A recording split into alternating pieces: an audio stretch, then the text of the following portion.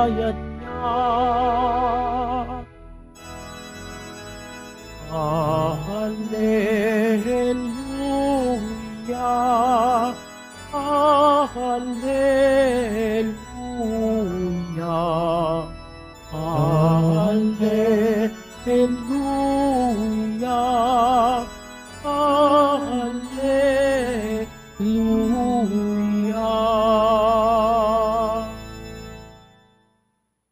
Sumainyo ang Panginoon. At sumairin. Ang mabuting balita ng Panginoon ayon kay San Mateo.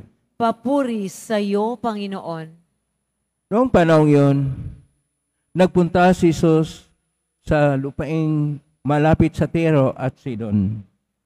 Lumapit sa kanya ang isang kananiyang naninirahan doon at malakas na sinabi, Panginoon, anak ni David, mahabag po kayo sa akin. Ang anak kong babae ay inaalihan ng demonyo at masyadong pinahihirapan. Ngunit gaputok may di tumugon si Jesus. Lumapit ang kanyang mga alagad at sinabi sa kanya, Pagbigyan na po ninyo at nang umalis. Siya'y nag-iingay at sunod-sunod sa atin. Sumagot si Jesus, Sa mga tupang naliligaw ng sambahayan ng Israel lamang ako sinugo. Ngunit lumapit sa kanya ang babae, lumuhod sa harapan at ang sabi, Tulungan po niyo ako, Panginoon. Sumagot si Jesus, Hindi dapat kunin ang pagkain ng mga anak upang ihagis sa mga tuta. Tunay nga po, Panginoon, tugon ng babae. Ngunit ang mga tuta man ay nagsisikain sa mga mumong nalaglag sa hapag ng kanyang pinuno.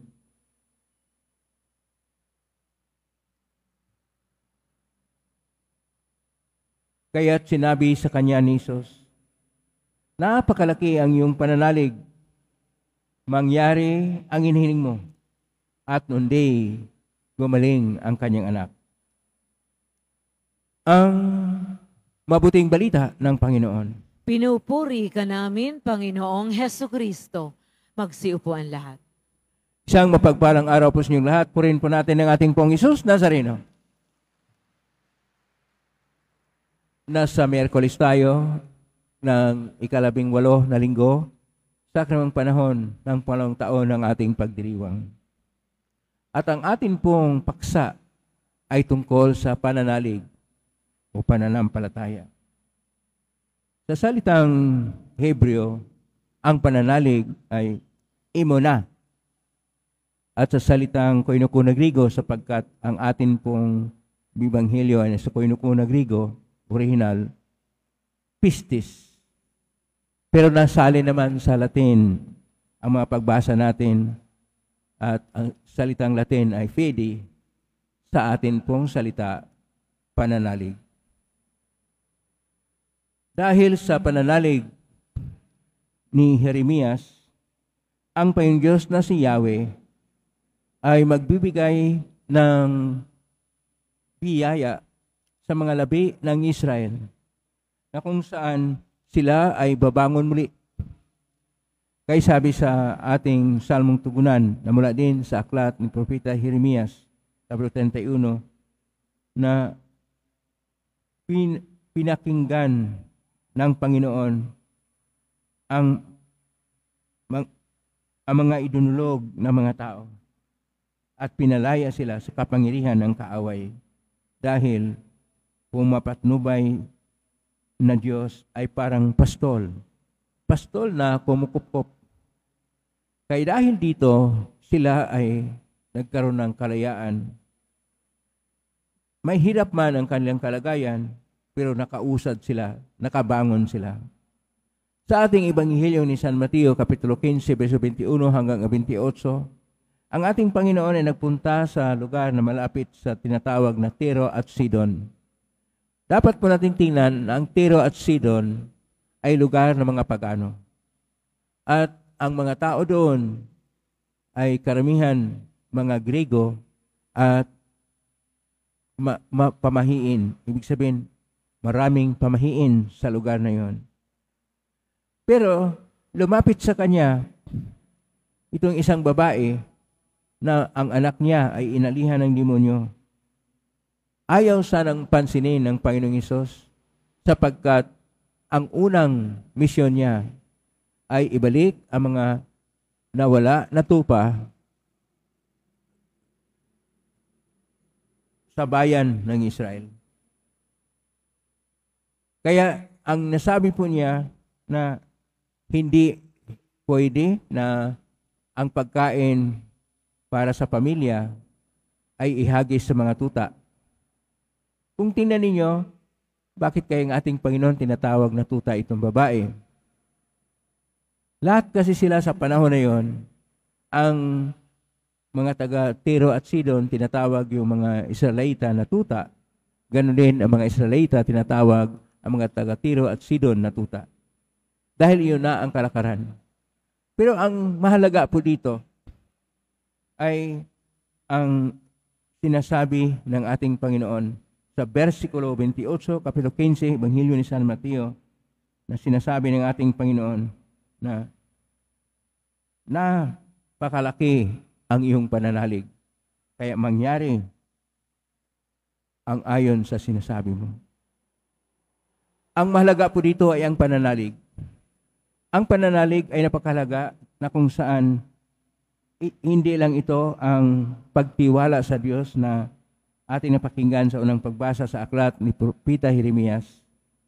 Ito ay isang panampalataya, pag-ugnay na malaliman sa Panginoon na siya yung magdala ng kabutihan.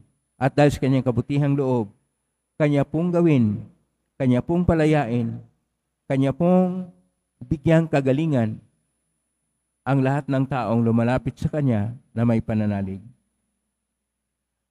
Ang mahalaga po dito para sa atin ay ang pagtingin sa ating buhay pananalig.